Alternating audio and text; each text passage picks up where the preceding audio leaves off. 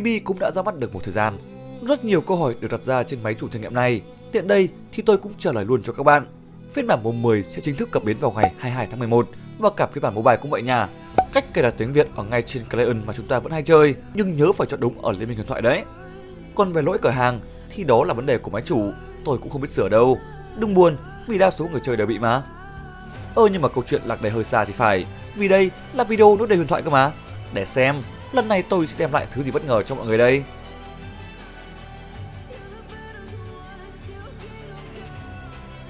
Chắc hẳn mọi người đã xem qua video trước, vậy thì bạn cũng hiểu rằng xét là vị tướng quan trọng như nào rồi phải không? Nó đã rơi ra ngay từ bãi quái. Nice. Điều này khiến tôi có thêm hy vọng tập hợp đầy đủ ban nhạc số một hiện nay. Okay. Hãy cùng nín thở với vị siêu sao chuẩn bị ra sân sắp tới là một ông bầu trong giới. Cái màu này nó quen lắm đây này. Chậm lại, chậm lại. Chắc chắn là Sante lại còn là siêu sao nữa. Boom! Cái đầu má sáu bà ra một. Xíu. Cắt đồi nỗi sầu, tôi đành chọn về cái gã Casante nghiệp dư. Điều này có thể gia tăng tỷ lệ xuất hiện siêu sao mới nhiều hơn. Sẵn tiện với chiếc dao của tay bạc, cuồng đao chắc chắn là không thể thiếu. Nhờ đó mà lượng kinh tế được gia tăng phần nào, hai đồng vàng trong một giao đấu thực sự ổn áp cho việc chiêu mộ về sau. Thậm chí có thể là ba đồng nếu như đối thủ của bạn chống chịu đủ lâu. Kinh tế ổn định, cấp độ đội hình nhanh chóng tăng cao. Tôi đã tiến tới điểm cuối của vòng 2 mà không có khó khăn. Điều tiếc nuối duy nhất chỉ là chưa tìm ra vị siêu sao cần thiết. Cuộc chiến lần này cũng chẳng khác trước là bao. Khả năng cản phá ở tuyến trên của đấu sĩ là rất mạnh mẽ, nguồn sát thương cũng luôn được duy trì cũng như thăng tiến bởi cung đao. Công việc của ông bầu như tôi khá nhàn nhã, ngồi chơi, nhặt tiền rơi liên tục. Nhưng tham vọng của tôi đâu có nhỏ bé như vậy. Đúng đúng. Nhờ có sự cống hiến với ban nhạc hết mình, Aphelios đã chịu xuất hiện để gặp mặt. Chỉ đáng tiếc, anh ta lại đang làm đại sứ cho một thương hiệu khác là Liên Xạ. Dù có chút không cam lòng, nhưng tôi vẫn cần tới anh ta. Việc duy trì trụ bất bại không thể đặt lên vai cô nàng ham chơi dinh được. Cấp độ 6 lúc này cũng hoàn toàn dư giả để lên trước thời hạn. Ngay sau đó, tôi mới nhận ra đó là quyết định cực kỳ đúng đắn. Một ban nhạc với siêu sao dinh hạng A đã tới du đấu. Chắc chắn, với đội hình trước đó thì kết quả là no hốp. Tuy nhiên giờ đây thì chưa biết ai là ai đâu nha. Chiếc giáp lửa mà chúng đem ra khiến cho dàn đấu sĩ khá đau đầu. Aphel đã rất vất vả để xuyên thủng được tấm khiên của ban thông. Cuồng đao của hai vị chủ lực nhanh chóng tăng trưởng. Nhưng số máu của ban nhạc Panlai lại là điểm mạnh của chúng. Dinh nhờ đó mà giành được chiến thắng hoàn toàn xứng đáng. Bỏ qua chuyện đó một bên vì có thứ quan trọng hơn đang đợi. Các nâng cấp kim cương bắt đầu xuất hiện với tính năng mới. Tìm kiếm tài năng cũng khá thú vị khi giúp cho cả đội có thêm hiệu ứng phụ của siêu sao ví dụ như sát thương, máu hay một vài tính năng nhỏ khác. Bạn đừng nhầm là nó sẽ nhân đôi tộc hệ nha. Còn đặt cả tính mạng, có lẽ không cần phải nói vì nó quá quen thuộc rồi. Chỉ còn lại đầu tư kiên định khiến tôi phải rời sự chú ý tới đây. Trong lần đầu sở hữu 40 vàng, bạn sẽ nhận được một món đồ bất tử trong 1,5 giây, lại còn cho thêm hai vàng nữa. Tôi đã mơ thấy một ngôi nhà và những đồng vàng. Mà đã mơ được thì phải làm được, hãy đưa nó thành hiện thực. Chốt. Đội hình lúc này được căn chỉnh theo cách hoàn hảo hơn, dần tanh tăng cường lên bộ đấu sĩ với sự có mặt của Tam Ken cùng gắt mập. Được. Cánh tay kim cương được trả về sau khi tôi giành lại một trận thắng. Và để tối ưu nó thì việc xếp Olaf một mình ở hàng trên là cần thiết.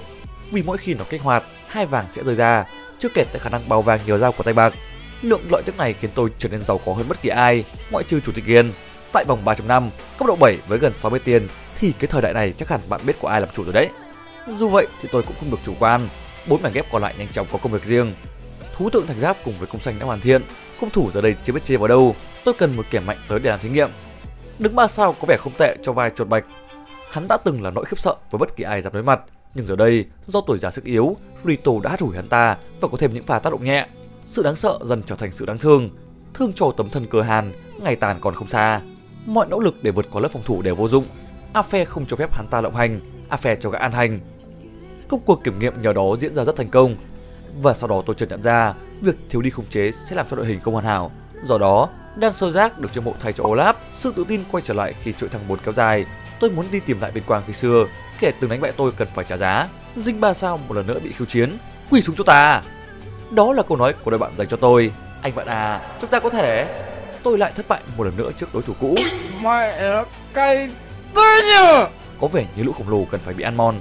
Mầm bệnh sẽ khiến cho bất kỳ ai kể cả chúng trở nên mềm yếu hơn. Bên cạnh đó, tôi cũng không quên việc thăng tiến cấp độ. Bốn liên xạ có thể giúp cho chiếc máy bào vàng Aphelios tăng thêm công suất. Chỉ là theo thời gian thay đổi, đối thủ dần mạnh lên từng ngày. Một vị tướng hai vàng đã mất đi sự uy hiếp. Thực tế đã chứng minh khi cuộc chiến với ban nhạc KDA diễn ra. Echo của đội bạn như một tấm khiên chắn bất diệt. Khả năng chống đạn của chúng khiến tôi không thể xâm phạm. Sự bao mòn giờ đây chẳng mấy ý nghĩa. Thứ duy nhất khiến cho cả đội được an ủi là những đồng vàng còn sót lại sau cuộc chiến.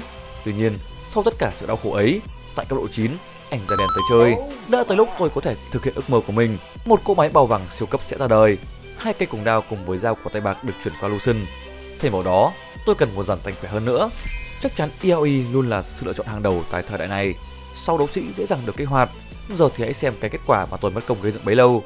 Ở phía bên kia của khán đài là những thành viên của ban nhạc Tradam, sát thương của chúng cũng lớn như cái tên vậy. Sự răng co ở tuyến giữa đã giúp cho cặp đôi Lucy thay nhau thi triển kỹ năng. Ngoài ra, sự ảnh hưởng của đấng cũng lớn không kém là bao. Hắn ta như cá chạch, luôn lách chỗ không sạch, xúc tù đập cái bạch, thế là giả sù tạch. Nhìn lại số vàng rơi vãi đầy sân, cái tâm hồn bé nhỏ cũng được chữa lành phần nào. Hy vọng về một lý tưởng lớn sẽ không còn xa. Cơn mưa vàng chưa dừng lại ở đó, nó liên tục kéo dài trong mỗi trận chiến. Tôi sẽ chọn cách leo lên đỉnh cao của đời người với cấp độ 10, cơ mà vui chơi thì cũng được quyền nghẹo. À không, là đừng quên làm nghệ thuật cho anh em. Năm hớt Steel được thêm vào sân, dù rằng đã là late game. Và như bạn thấy đấy, một chiếc diều đen được băng về và chẳng tốn nhiều công sức. Cơ mà tôi có cung xanh rồi bro. Thôi thì gấp đôi sự phân tách đâu phải là tệ. Tôi muốn tìm lại sự tôn nghiêm thêm lần nữa. Thư ước chiến đã được chấp nhận, ban nhạc Panline cũng tới tại cuối vòng năm Chúng giờ đây đã được bao bọc trong sự giàu sang, một màu vàng hoàng kim chói mắt. Chợt nhận ra, tôi đã quá chủ quan mất rồi. Veta không thể nào đủ sát thương để đục thủng tấm khiên của bản thông. Ngược lại, EOE đã ngã xuống trước đủ loại vũ khí, cùng xanh, đĩa không lô và cả vô cực nữa. Trong khi đó, anh da đen vẫn cứ là tấu hài với cái bài bắn xịt. Tuy nhiên, đây là sự nhân nhượng cuối cùng tôi dành cho chúng mà thôi. Quá tạm bà bận, nụ và cả chỉ. Lượng máu vẫn còn khá nhiều, tôi vẫn sẽ slow roll tại đây. Chất lượng đội hình cũng được cải thiện phần nào, đặc biệt là sự xuất hiện của anh da đen đang ngày một nhiều. Đây cũng là cơ sở để tôi tự tin đi đòn hơn trong những cuộc chiến tiếp theo. Nhưng điều đó đã bị phá vỡ khi cuộc gặp mặt với DJ Sona diễn ra. Khả năng tạo vết thương sâu là thứ duy nhất tôi chưa có. Do đó, sự hồi phục bất tận đến từ Sona đã cản trở việc triệt hạ Blitzcrank. Dù rằng cuồng đao có thể gia tăng sức mạnh theo thời gian, nhưng Sona cũng vậy. Chưa kể tới việc dồn nam từ xa là quá khó khăn. Bản nhạc DJ liên tục khuấy động sân khấu cho tới khi tốc độ đánh đã lên tới mức tối đa, tấm khiên chắn cũng đã bị hạ thì mọi chuyện đã quá muộn màng. Ari giờ đây dễ dàng hút hồn từng người và giành lấy chiến thắng. Nhận ra rằng tôi cần phải sống vội hơn bao giờ hết. Mảnh ghép thứ bảy của Lucy đã tới, nhưng nếu như lấy về thì khả năng xuất hiện siêu sao Lucy là bằng không. Sau khi do dự, tôi đã tự tin vào đốt đề của mình. Không chỉ vậy, EOE cũng được chiêu mộ đến hồi. Giờ đây kẻ còn đứng vững trên sân không còn nhiều, hội Ban Lai là một trong số đó. Chưa hết, chúng còn đang cháy hơn bất kỳ ai. Liệu rằng thất bại có lặp lại như khi xưa? Câu trả lời chắc chắn là không. Sự nhẫn nhượng trước giờ đã hết, đã đến lúc mọi thứ được lấy về. Sự châu bò của chúng chỉ khiến cho lượng vàng sản sinh ra nhiều hơn mà thôi. Nhờ có khối tài sản sinh sôi không ngừng, anh Zeden thứ 8 đã xuất hiện. Cảm thấy thời cơ đã tới, tôi đã rồn rất nhanh và nhiều, nút đề của ta đâu. Kèm theo đó là từng câu thần chú được tung hô, Ghiền được ngồi ăn với Chubin. Sau đó, vẫn còn sau đó, Lucian ba sao đã ra sân.